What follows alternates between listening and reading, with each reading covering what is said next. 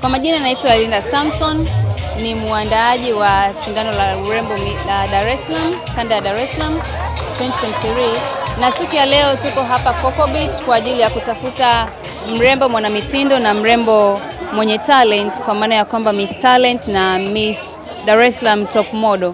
Hii ni, hii ni, ni uongozi kutoka Miss World kwa maana ya kwamba ni lazima hizi ngazi zipitiwe na mashindano yote ambayo yako chini ya Miss World, yani Miss Tanzania, Miss Kanda ya Tanzania, Miss Wilaya na Miss Mikoa zote lazima zipitie vipengele.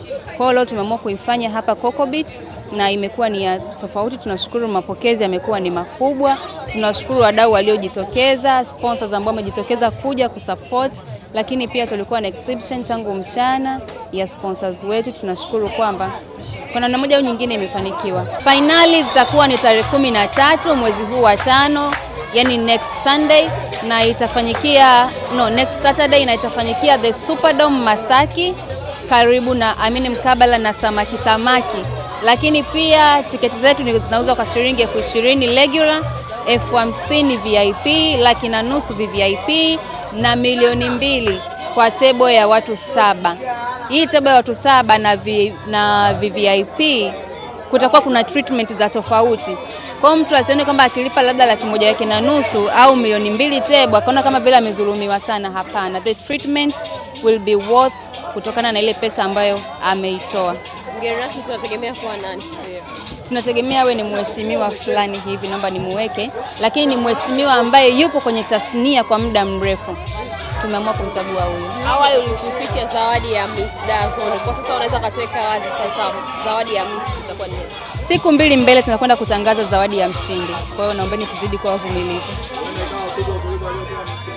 Yes, yes, ni kubwa kuliko aliyopewa Miss Kinondoni, so get ready. Ukubwa gani? Maana Miss Kinondoni alipewa gari, ina maana ni zaidi ya gari. Ni zaidi Okay. yeah.